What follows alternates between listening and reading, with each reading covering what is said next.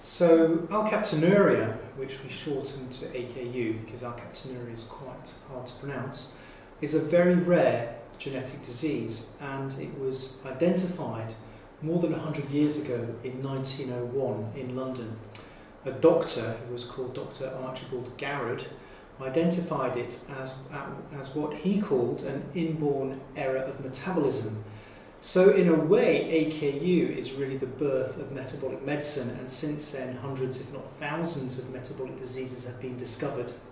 And AKU was the first. In a way, it can also be called the first genetic disease because it was the first disease to be seen to have kind of inherited genetic properties. And really, AKU is caused by a missing enzyme. And the fact that this certain enzyme is missing means that patients with AKU cannot break down a substance that's called homogentisic acid, or HGA for short. And this HGA accumulates at 2,000 times the normal rate and starts to bind to cartilage and bone, oxidizes, and then goes black. And that's why AKU is also known as black bone disease. And so then it goes black, and what happens is that the cartilage and bone become kind of brittle and they start to fragment, and it's an incredibly painful process.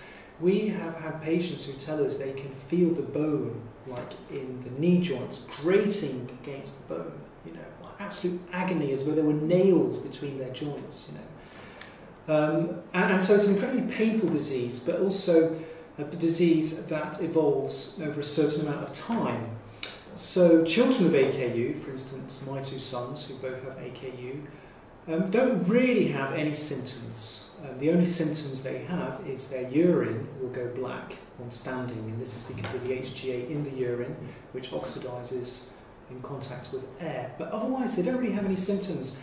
And it's only when people get into their 20s, 30s, or 40s, a bit younger for men, a bit older for women, that they will start to have pretty significant um, joint problems. So they might have their hips start aching, elbows, um, you know, their shoulders, um, but also the spine. The spine is often very badly damaged, and often what starts to happen is the spine starts to fuse into one block. It's a very painful process. And then what happens is that the spiral of degradation continues and the joints become worse and worse. And as it fragments inside, you know, they really start to fall apart. And not just the joints, but patients also have um, problems with the heart. They have problems also with the kidneys, prostate, they start having black spots in the eyes, the ears start to go blue black, you know, very intense pain. And it's a kind of a, a disease that affects really the whole of the body.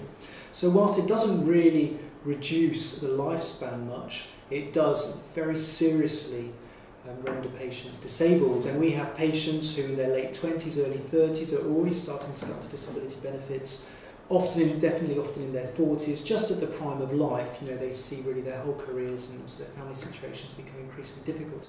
And one of the key things to remember is because AKU is so rare, it is difficult to get research, uh, to get funding.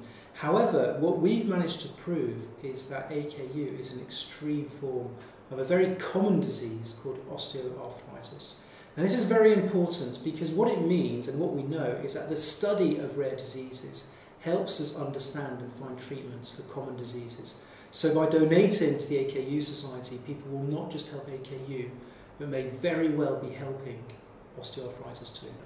And so that's why we exist as a patient society. We're the AKU Society, and we were set up in 2003 in Liverpool by a patient called, uh, called Robert Gregory and a doctor called Dr. Ranganath. And both of them realised that nothing really was being done about AKU and that it was time to kind of kickstart a patient movement that would start to significantly change things. And that's what they did. And so what we've really managed to do over the years since then is to build a very strong team in Liverpool. You know, Dr. Ranganath is a consultant in metabolic medicine there, but we've also um, brought on board um, a leading scientist called Professor Jim Gallagher and other scientists such as Dr. Jonathan Jarvis, Dr. Andrew Preston and Dr. Don Williams um, looking very much at the basic science of AKU, we've also funded a PhD program there. Our star student um, Adam Taylor recently became Dr. Adam Taylor because of some groundbreaking research into the kind of cellular models of AKU. And so we now have in Liverpool a program that goes from the most basic science at the molecular level all the way to the most clinical science, which is kind of patient facing. And so we built a very strong team there with clinical statisticians to kind of start designing clinical trials, with rheumatologists, with surgeons to get a very good understanding of AKU and to start designing trials for a treatment. AKU is a very rare disease with a prevalence of 2 in 1 million. It is also an autosomal recessive genetic disorder, meaning that both parents must have at least one mutated HGD gene, the culprit gene causing AKU. Thus, both parents are so called carriers or AKU patients themselves. Now, the affected AKU child has obtained two mutated genes, one from each parent. The chances of this occurring are 1 in 3 if both parents are carriers. In the healthy child, each of the two chromosomes contains a DNA molecule with an intact HGD gene. The HGD gene in turn produces an HGD protein. However, the HGD enzyme requires six HGD proteins, so called HGD subunits. Three HGD subunits form a disc called a trimer, and the resultant two trimers assemble to form a hexamer to yield the bioactive HGD enzyme. Only this bioactive HGD enzyme is able to convert HGA at its active site with the aid of iron 2 iron 2 maleylacetoacetate acetate MAA. A mutation of the HGD gene causes alterations of the HGD protein structure. There are over 100 known HGD mutations.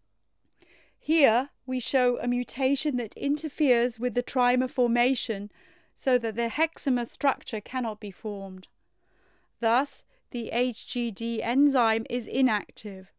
This is called HGD deficiency.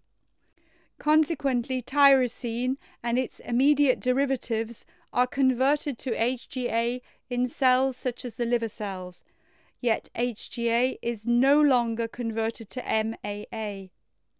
This leads to an accumulation of HGA molecules within the cell that subsequently cross the cell membrane and finally get into the blood circulation. From there, they are filtrated at the kidney and eventually excreted out of the body into the urine. However, HGA is readily oxidized by the oxygen from the air or by the addition of an alkaline solution to yield benzoquinone acetic acid, BQA. This causes the urine to turn black, which is the first symptom of AKU. So, for the first three decades, most patients are asymptomatic. In other words, they just have this strange urine. Nevertheless, not all HGA is excreted. Some of it is deposited in its oxidized form, BQA, at the connective tissue, such as cartilage. However, BQA is chemically very reactive and polymerizes in other words, several BQA molecules join together to form a long chain.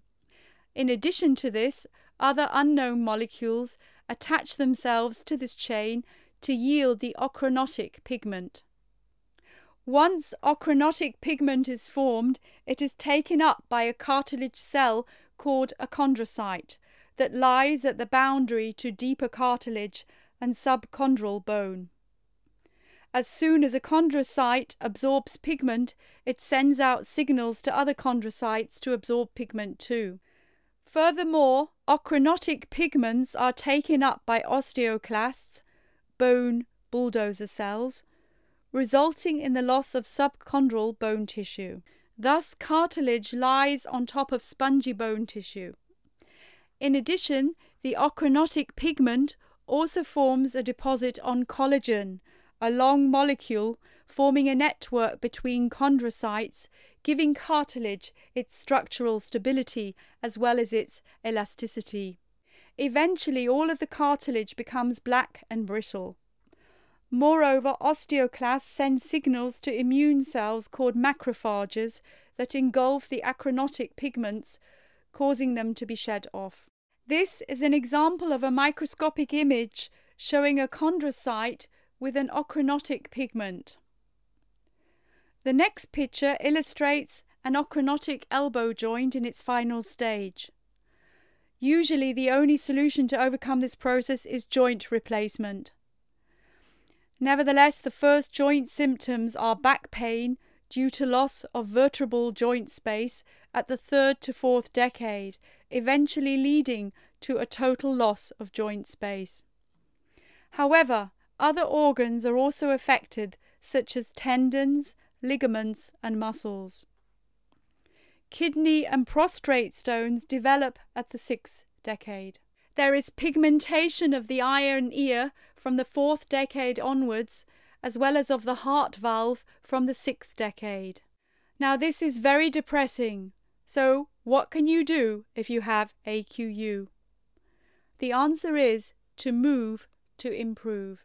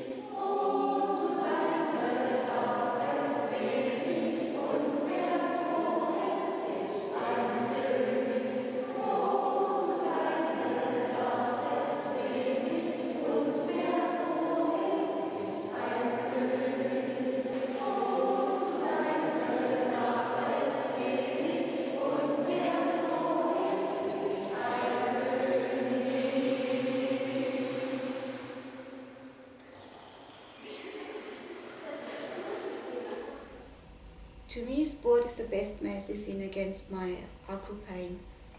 Before I started joining the um, swimming classes with the Rheumaliga in Halle, I had to take one to two NSAID um, painkillers every day to cope with daily life.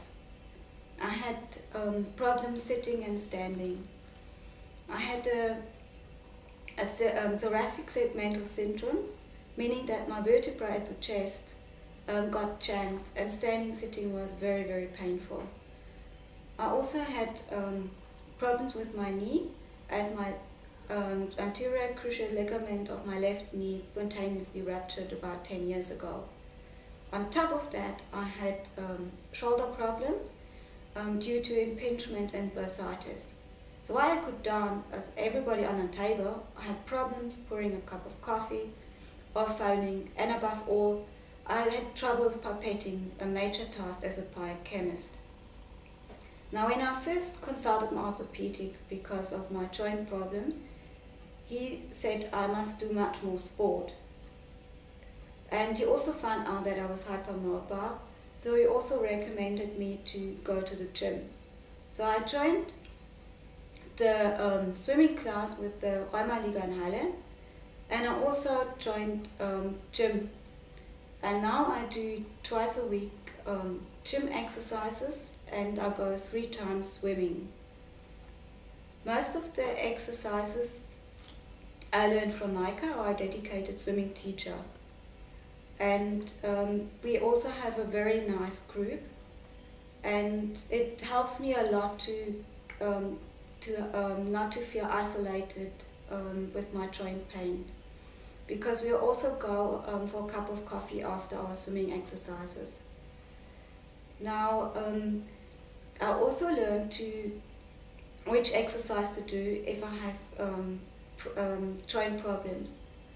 So um, when I make appointment with my orthopedic or physiotherapist due to a lumbago or segmental syndrome, I'm actually fine again and I feel very much embarrassed that I made, made it so urgent. Now, I also uh, participated in the clinical study in Liverpool led by Dr. Ranganath. And when I did some um, Schober tests, they actually uh, were quite surprised that I could still reach the floor. And I told them about my sport activities, and I said to them that in water I feel free like a fish, while getting up from the chair I really feel like an old lady. Leona Wagner has alkaptonuria, and I can tell you that her alkaptonuria at the present time is quite mild. Like a lot of women, her features of alkaptonuria at the moment are slight. She doesn't have much in the way of joint involvement at present. You may know that the treatment for alkaptonuria at the present time is mainly about symptom relief. We do not have a cure for alkaptonuria at present. So therefore, in terms of advising people with alkaptonuria, what we are concentrating on is changing diet, changing activity. In terms of advising about activity levels in people with alkaptonuria, there's no clear evidence base. So we have to use our judgment a little in terms of what we tell people with alkaptonuria. High impact activity is probably not a good idea given that the major problem in alkaptonuria is joint disease. So therefore, any activity that doesn't cause high impact, such as swimming or water-based sport, is likely to help the joint by also maintaining muscle strength. And the way we detect that is by using a technique called the isotope bone scan. This isotope bone scan is a CT scan that also causes the joints to light up in the scan. I can tell you that there's a new drug called nitisinone. Nitisinone decreases homogentisic acid. You may know that high homogentisic acid is the cause of alkaptonuria. As a group, we are now in the beginnings of a clinical trial to see whether nitisinone can prevent the damage in alkaptonuria. We hope to have answers on this shortly. Besides and it is known, our plan is also to look at enzyme and gene therapies as treatments for alkaptonuria, and our collaborative groups are helping with this. Myself and my close colleague, Professor Jim Gallagher, have supported a PhD student who has helped us understand the mechanisms of joint damage in alkaptonuria much better. We have now just completed successful pathophysiological studies into mechanisms of joint damage in alkaptonuria. This was largely due to our PhD student Adam Taylor who managed to successfully complete these studies. I can honestly say we believe in the next five to ten years we'll have a cure for alkaptonuria. I believe that patients with alkaptonuria can look forward to a really bright future.